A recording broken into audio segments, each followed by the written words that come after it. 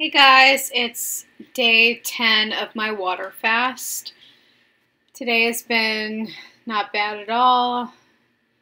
I've got, uh, I don't know, about 80% of my energy back, so that's good. Um, just kind of a slow day. I think most of these days are going to be pretty slow.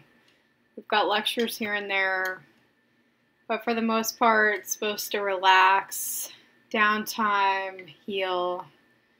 That's the whole point of being here, right? So I've had a couple questions on weight loss. I am not here for weight loss. It is, however, a nice bonus.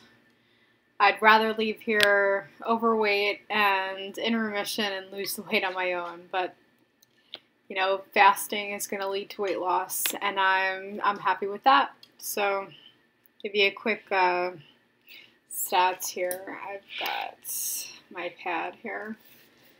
All right, so day one, I started at 163.2 pounds.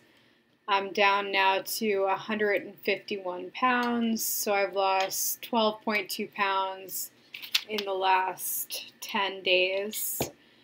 Um, average is about a pound a day, so I'm a little bit above that. I think you generally lose a little bit more in the first day or two, just kind of flushing out any of the excess water.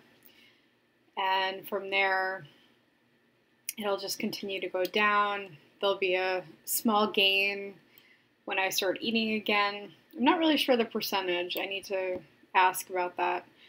But I figure, you know, it'll probably be about 5 to 10 pounds gain back by the time I go home. But I'll keep you posted. I'll do the weight updates. So today, day 10, I'll also do one day 20, and then again day 30. So that's my update for today. Figured I'd just keep it short and sweet. Take care, guys.